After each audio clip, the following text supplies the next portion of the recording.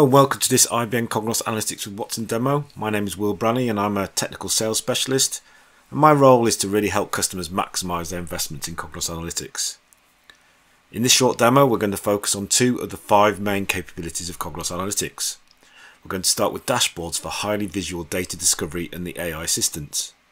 Then we're going to move to explorations to explore patterns in our data and unearth hidden insights.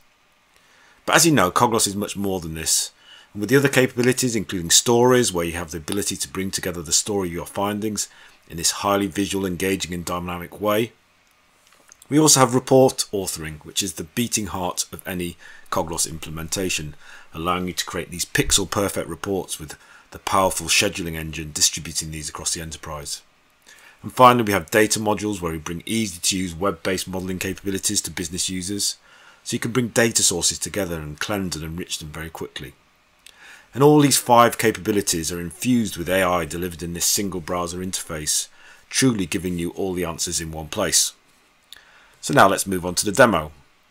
So in this demo, we're going to be stepping into the shoes of a product manager for the smart electronics product line for this fictional retail company. Now the retail company sells various product lines such as photography, smart electronics, home theatre and smart electronics includes products such as smartwatches and fitness trackers and smart home devices. And recently, sales haven't been doing that well.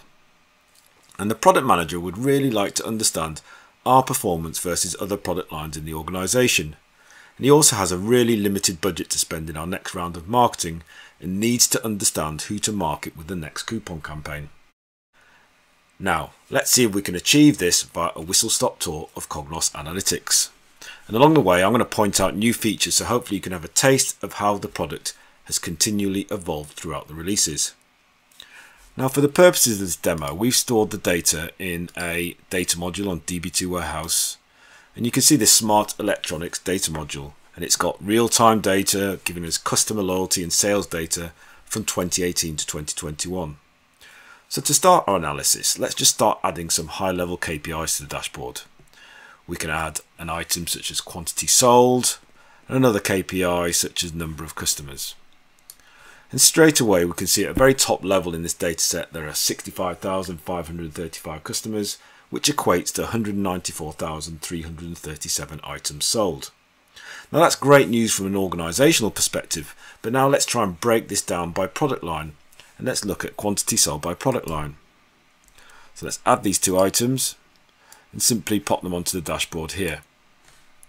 And if we select them and add them to the add them to the dashboard, we can see that Cognos has chosen the most appropriate visualization to represent this data, which is a column chart. And we can easily see in the middle column here that photography is sold the most. And worryingly for me, as the Smart Electronics product manager, Smart Electronics are selling pretty much the least. If you select photography here, you can see that they've sold 78,000 items with about 26,000 customers whereas of smart electronics has sold around 19,000 items with about 6,500 customers. And as you can see, dashboards are interactive by design. There's no coding here and it's really easy to filter the data by just simply selecting the columns. So let's adapt this column chart and let's add in an item called loyalty status to the visualization to better understand how our products are selling across our loyalty tiers. If we choose loyalty status, we can simply add it to the visualization in the guided data slots such as color, length or bars, or we can simply pop it onto the visualization and allow Cognos to determine the correct type. And in this instance, it's created a clustered column chart, and you can see the loyalty tiers along the bottom, such as bronze, elite, gold, platinum, silver, and VIP. And if you also notice how the smart title has updated to the data in the chart, so basically keeping up with our data exploration. And smart titles were introduced in 11.1.7 and the great thing about dashboards is that new features are introduced all the time. For instance, if you go to the column titles here, column title styling called style text has been introduced in 11.2.2 and you can change the font family, the style, the font size very simply there too. Cognos Analytics also provides analytic insights that help you detect and validate important relationships and meaningful differences based on the data that is presented in the visualization. And they're simply available by selecting the light bulb icon in the top right hand corner of most visualizations. And as you toggle these on, not only does it present you with an average value of sales, which is 6,478 across this dataset, but it also finds meaningful differences in the data. And if you hold your mouse there, it will give you those in plain English.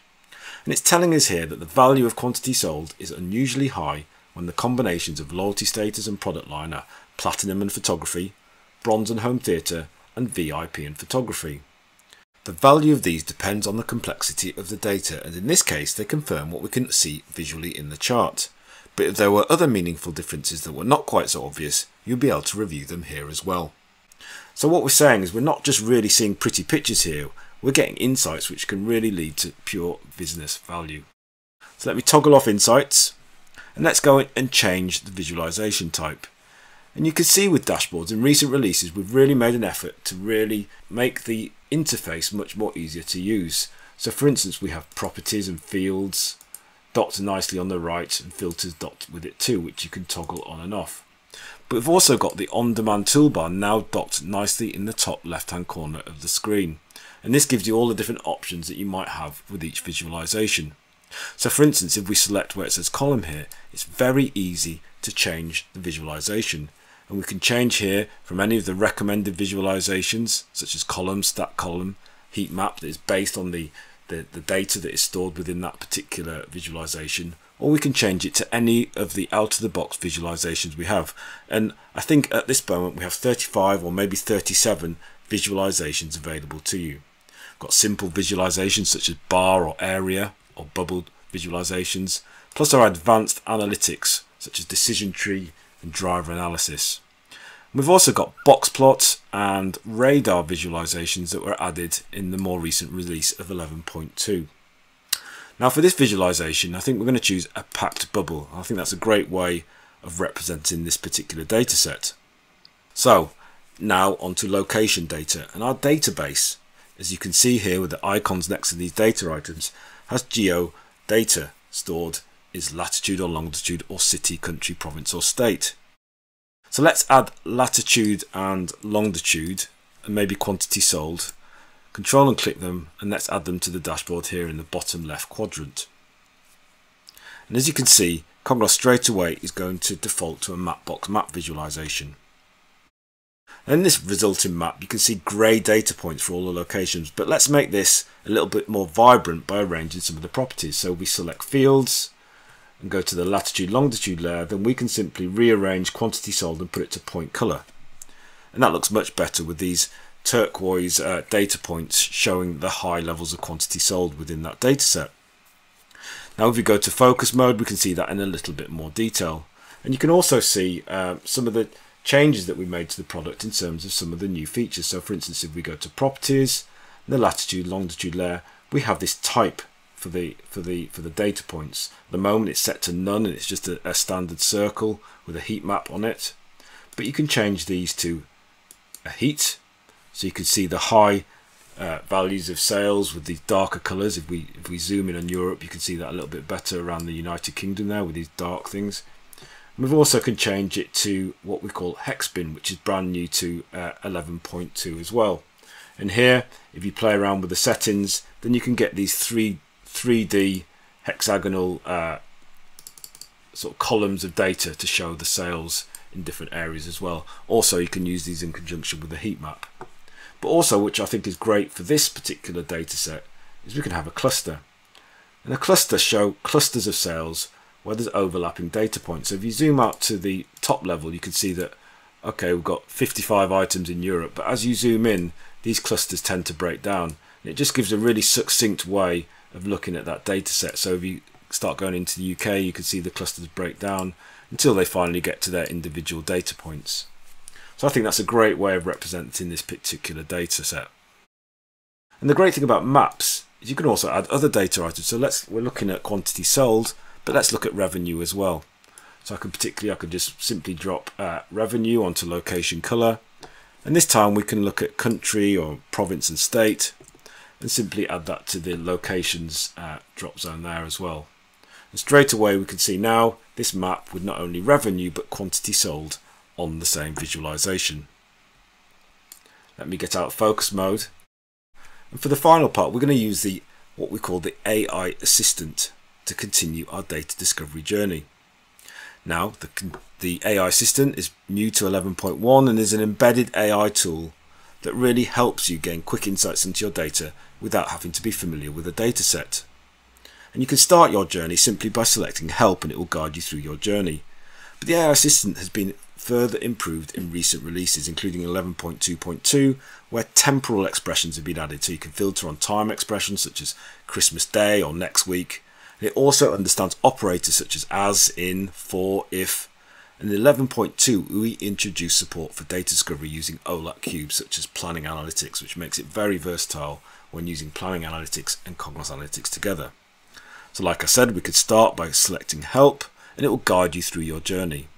So for instance, you can ask it to associate with a data set by selecting show data, or you can simply ask it to suggest questions based on the context of the data that we have open. For instance, these questions here are all based on the data set that we're using and we can simply select which order year has the top target revenue, for instance. And straight away, it produces a range of visualizations to answer that question. We've got a column chart, we've got packed bubble charts, We've got box plots, we've got word clouds, we've got everything that we might think of, all answering the same question, which is revenue ordered by order year. Now, we can also ask our own questions of the data. So for instance, we could ask it a question such as what influences influences revenue.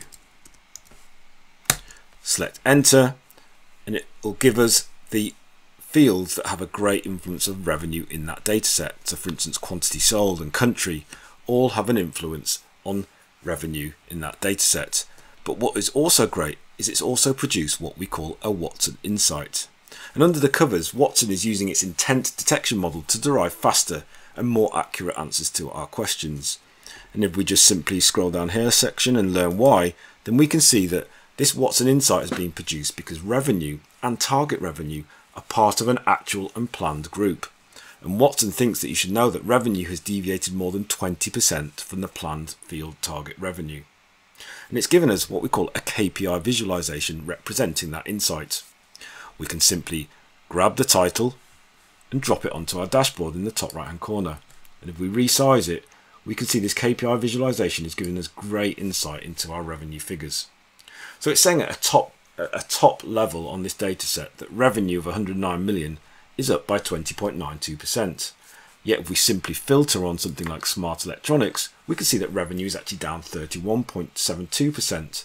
So this KPI visualization is a great way of representing key KPIs such as revenue. So let's continue our journey and we can go back to the AI assistant and at the bottom we can type something like um, we want to ask a question based on time series data and product line. So we can simply ask it a question is what is quantity sold by product line and you can see the type ahead functionality matching my question with the actual data model itself and I can put an and in there and type order year. What is quantity sold by product line and order year? So we want to see sales over time. And straight away it's produced us with this visualization giving us a line chart showing quantity sold by order year coloured by product line which I can simply add to our visualization there. And if I want to see more granularity in that because we've got the years along the bottom and the sales along the left hand side and the different lines representing the different product lines we can add some granularity to that visualization so we can change it so we can simply add quarter to this visualization and we can see a much more granular representation of that data. Now we're looking at, at using this for our planning, budgeting and forecasting cycle and getting some insight into sales over time. So let's just filter this over the last couple of years. So I can go to fields, I can filter and I can simply select the last two years in terms of data point. We can see there much more stable growth in sales over the over the last two years. You may have noticed Cognos has built-in time series forecasting where you can quickly generate a sophisticated forecast on the fly. By toggling on this forecasting button you see a number of different options. For instance you see forecast periods which is initially set to auto which means it's going to choose 20% of the length of the dataset. We can ignore last periods if we have an incomplete dataset. We can also set confidence level and seasonality So we can set some quite complex options for this forecast. Now if we go to the forecast it's generated, we can see these data points have been forecasted. And if you want to see more details on what has been chosen, then you can open the data tray and you can see the forecasting statistical models and you can see which models it's chosen and why. So, forecasting. So let me open this in focus mode. Let me select Smart Electronics data point. And if you hang your mouse there, or simply hold the mouse, you can see the forecasted data point. And you can see that the confidence upper bounds, lower bounds, and the forecasted amount of 1,587 for quarter one 2022. Excellent. So let's unfilter that. Let's go out of focus mode and let's look at the entire data set and we can close the AI assistant too. One thing I wanted to show you about the AI assistant and it's the final thing of the AI assistant and I can simply open it again simply clear it using the reset button at the top and one thing you can do with the AI assistant is simply create a dashboard directly from the dataset. You simply type create dashboard, hit enter, and straight away it will produce a brand new dashboard with three tabs. It's a really useful feature this, especially when you've got a new data set that you don't want to you don't understand the, the, the, the actual data itself and you just want to gain some insights into that data. And it will pick from three measures that it deems interesting to the, the user. So here it's chosen revenue, customer lifetime value and loyalty status. And it's got a range of different visualizations answering that question. So for instance, if we go to customer lifetime value, which is our measure in this data set representing customer loyalty and the revenue that they spend, then we can see that we've got a customer lifetime and revenue by order date. We've got a map showing it by postal code, and we've also got the driver analysis visualization in the bottom right hand corner. Now, this visualization really helps you understand what columns in the data drive customer lifetime value. So for instance, the colours of the bubbles represent the number of columns in the data that have an impact on customer lifetime value. Blue means one driver or one column in the data, red means two columns or drivers, and green being three or more. And it works from 0% on the left to 100% on the right, and that represents the predictive strength of those data columns on that metric. So for instance, if we select this bubble on the right hand side, which represents three columns, we can see that the combination of quantity sold, coupon response and province or state is a predictor of customer lifetime value with a predictive strength of 65%. Now that's really interesting because quantity sold is perhaps quite obvious, but it's interesting to see that there is a strong relationship with our promotional coupon campaign and it's encouraging to know that there is an impact. Let me just sum up this section of the demo. So if I go back to our original dashboard and go to the summary section, We've seen that using dashboards, we have viewed a highly visual summarized view of sales in our organization, showing poor performance of the smart electronics product line. We've reviewed automatic insights in visualizations and used geolocation data to visualize sales using Mapbox maps. And we've used out-of-the-box time series forecasting to determine sales are likely to continue as flat for smart electronics. And we've also used the AI assistant to help answer questions and surface insights by discovering that customer lifetime value is influenced by quantity sold, location, and coupon response. Thank you for watching, and please join me for the next section of the demo where I'll be investigating what drives customer lifetime value using our exploration capability.